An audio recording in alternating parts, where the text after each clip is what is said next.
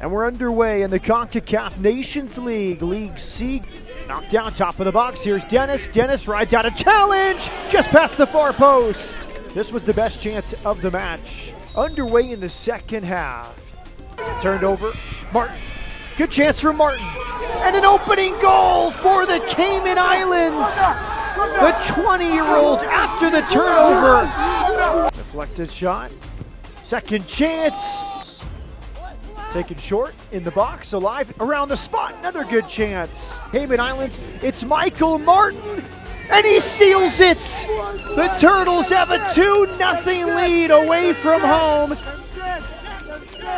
An opening victory in the CONCACAF Nations League.